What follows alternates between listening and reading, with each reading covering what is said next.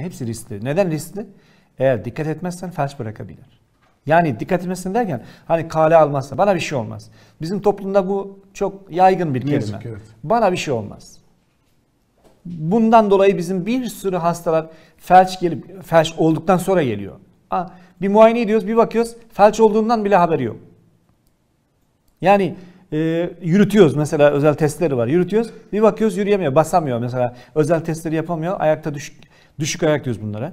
Ayaktaki güç kaybı gelişmiş. Haberi yok ama hasta. Yani o yüzden bel fıtığı olsun, boyun fıtığı olsun. Bunlar önemlidir. Mutlaka bir beyin cerrahisine başvurulmalı. Detaylı bir muayeneden geçmeli.